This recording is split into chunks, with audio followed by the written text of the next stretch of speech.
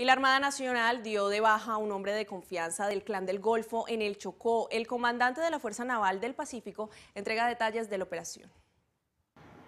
En desarrollo de operaciones de la Armada Nacional con las unidades del Batallón de Infantería Marina número 23 en el sector de Jurubidad se presentó un enfrentamiento de encuentro contra las estructuras del Clan del Golfo Frente Pacífico al mando del sujeto Hernán.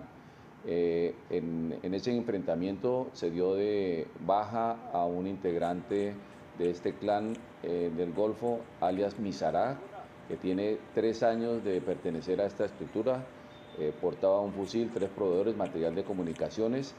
en este sector hace presencia la comunidad indígena de Embera, más o menos son 45 familias que estaban atemorizadas por la presencia de este grupo ilegal. Con la presencia de la Armada Nacional se ha logrado eh, tranquilizar a esta comunidad indígena. Eh, llegaron ya siete familias a Nuquí, se viene haciendo las coordinaciones con el alcalde para poderles dar el apoyo, la asistencia humanitaria y continuar con el desarrollo de operaciones militares.